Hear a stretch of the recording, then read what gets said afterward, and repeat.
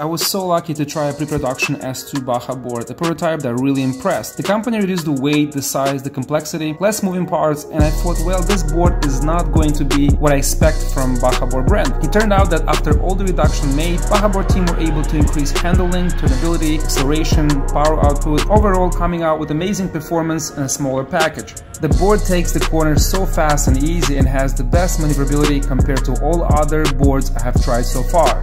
It is super quick, nimble and easy to operate and ride. The deck really allows you to make a wide, comfortable stand. Previously, only G3 and G4 were the only one options for me to ride this way and not have the wheel bite. Of course, the G4X is an extreme off-road machine and S2 will not be able to match that power and performance level. But for medium off-road like trails and muddy roads, S2 handles areas so well where Trampa and LaCroix will not go through.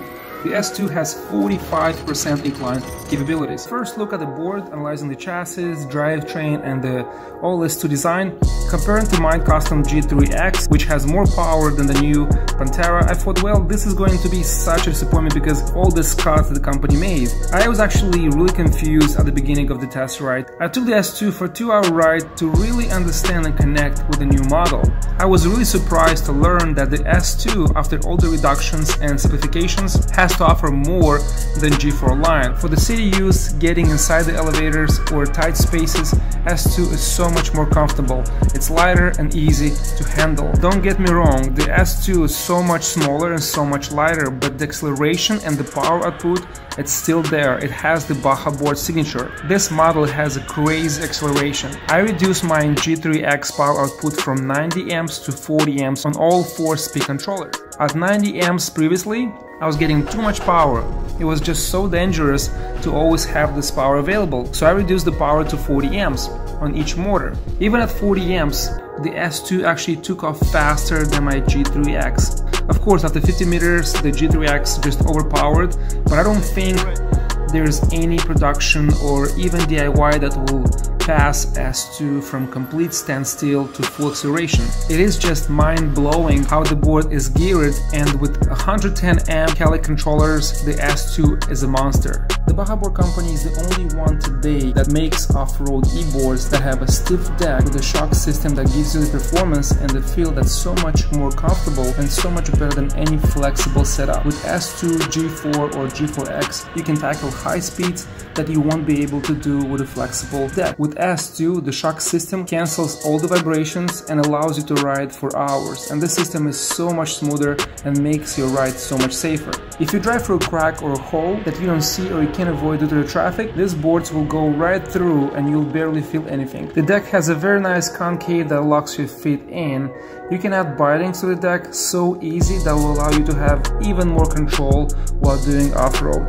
The S2 offers two suspension options, coil for lighter riders and air shocks for heavier riders. The two shocks will allow you each wheel individually to absorb all vibrations giving the best comfortable ride. The S2 system is the only off-road model that will allow you to mount from 7 up to 10 inches tires in order to get the clearance you need to your suitable riding style. The drivetrain is so ingeniously tucked in into the chassis of the board protecting the sprockets and the belts from impact and debris. Really clean design. Top speed of the model with 8 inches is 55 kilometers an hour or 34 miles an hour and 60 kilometers an hour or 37 miles an hour with 10 inch wheels. Range, it gets up to 37 miles with 1 kV battery and up to 18 miles with 600 watt battery. You have two options for the motors. We can choose two 6374 or two 6358 at the rear wheel. The charge time for 600 watt battery takes about 2 hours and a half and for the 1 kilowatt battery 4 hours. This is the only board that comes with a flashlight that actually is powerful enough that can be used off-road. Also this model has options that I have never seen on any other electric skateboard.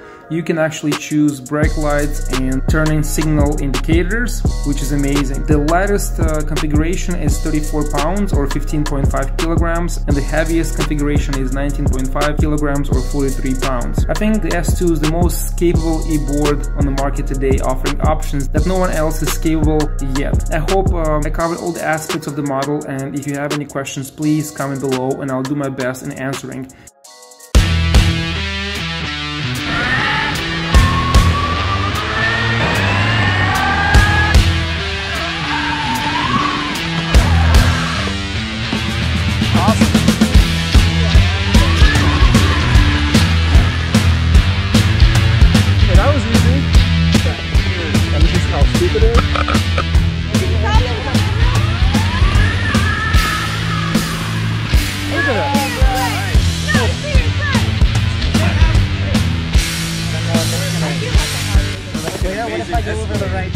You 10s or 12s? 12. 12s? Oh, you should be fine. But it's the, it's the case. 12s. How many feet? Uh, 12S 5 speed. 5 feet. Oh, should be good. Yeah. Fine. All right, got it. So you want to hold that in Keep the gear, man. More power than you think. More power than you think. Go, go, go. Way more. Oh! Give her, give her, give her, give her. Go, go.